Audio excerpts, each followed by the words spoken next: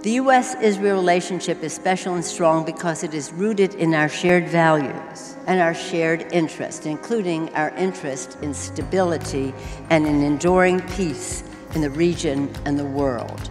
Support for Israel has deep roots throughout our nation, throughout the communities you call home. Israel has deep shared values with the United States when it comes to beliefs eh, about human dignity, about freedom, about freedom of worship, freedom of expression. Israel is the only country in that region of the world that shares our values, our democratic values.